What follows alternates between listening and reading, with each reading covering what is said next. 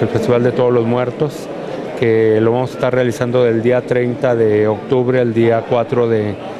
de noviembre. Eh, ya estamos por ahí listos, vamos a tener eventos, sobre todo con artistas locales, vamos a tener lo que es el monumental altar de muertos allí en Plaza de Armas. Y bueno, esto nos sirve de preámbulo también para lo que se viene, que es el,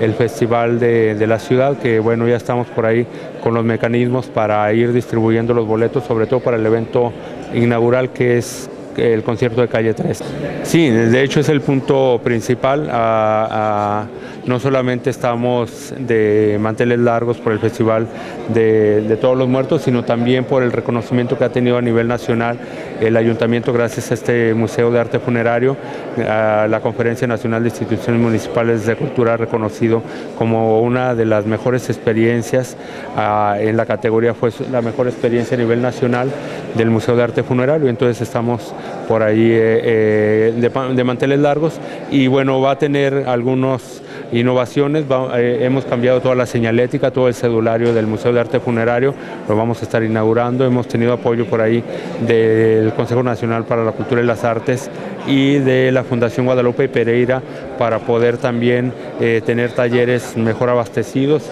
y bueno, va a ser un punto central el Museo de Arte Funerario. También estamos haciendo limpieza de lo que es el entorno y de algunas piezas ya incluso.